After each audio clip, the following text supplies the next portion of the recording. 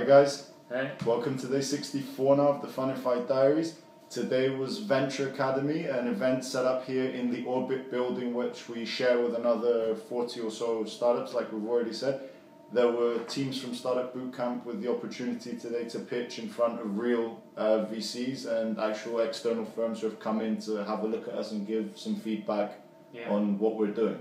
It's uh, leading up to tomorrow's uh, Nordic Venture Forum, um, so it's basically for us to have an opportunity to get an early shot at the judges that are going to be judging us tomorrow uh, during our pitch there to the different VCs and angels at the event.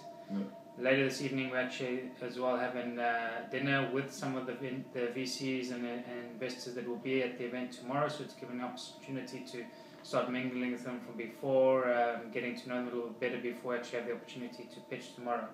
And I think this whole process also gives it eh, for specific people for tomorrow, but also just generally in terms of gauging the the feedback of what VCs are actually looking for and helping us to define. Now if even though you kind of hope to open yourself up to VCs and angels, but it's best to kind of start defining what we're after in terms of funds and what a VC would want from us and what an angel would be looking And I at. think it's it's very good. I mean, the feedback that you just get from the guys is a lot of things you don't even think about a lot of the time, and it gives you a different perspective to look at from both sides of the picture. So, uh, obviously, angels are liking to get in at an earlier stage in companies and willing to take a little bit more risks, whereas the VCs uh, want to make sure that you've uh, got your product market fit, you've got your first bit of traction going.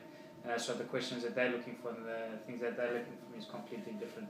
It helps us to mold our pitch to be covered, you know, to kind of answer both sets of questions. And see our weak points as well, I guess. So Yeah. that's- Yeah, yeah, for sure.